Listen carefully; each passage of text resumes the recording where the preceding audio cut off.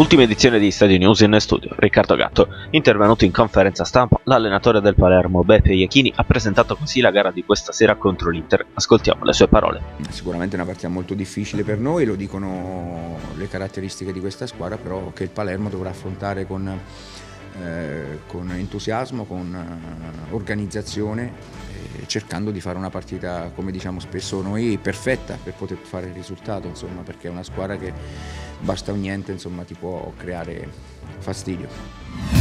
E sono 25 i convocati dell'allenatore rosanero Beppe Iechini per la gara di questa sera contro l'Inter. L'allenatore rosanero chiama anche Matteos Cassini, protagonista con due gol nelle ultime due partite con la primavera del Palermo.